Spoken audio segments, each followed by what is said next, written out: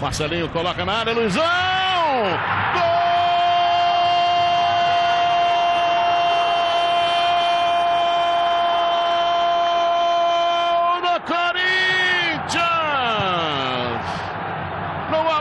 lançada pelo Marcelinho em diagonal, Luizão entrou de cabeça, desviou. E aliás, foi lentamente, de leve. Colocou apenas no canto direito do goleiro Veloso. Um para o Corinthians, zero para o Atlético. Olha a chegada do Luizão. Que liberdade para um goleador como ele. A bola já tinha saído do controle do jogador do Galo, mas foi empurrado. É pênalti. A calma do Dida. O Dida parece que está ali num piquenique. Olha lá.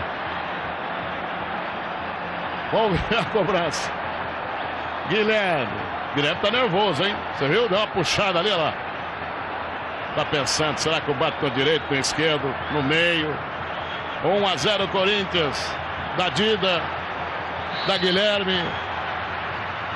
Vai autorizar. Vamos lá. Guilherme partiu.